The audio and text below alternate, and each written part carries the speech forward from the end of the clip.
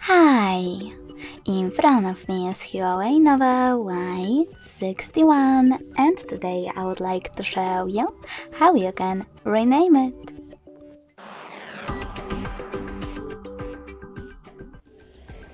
First of all, go into settings and scroll all the way down. Then tap on About Phone at the bottom.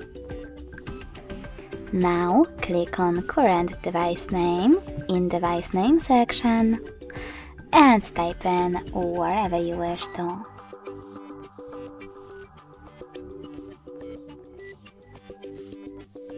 When you're ready, click on OK.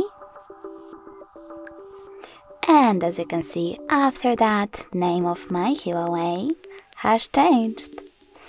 Thanks so much for watching. If you enjoyed this video, leave a like, comment and subscribe.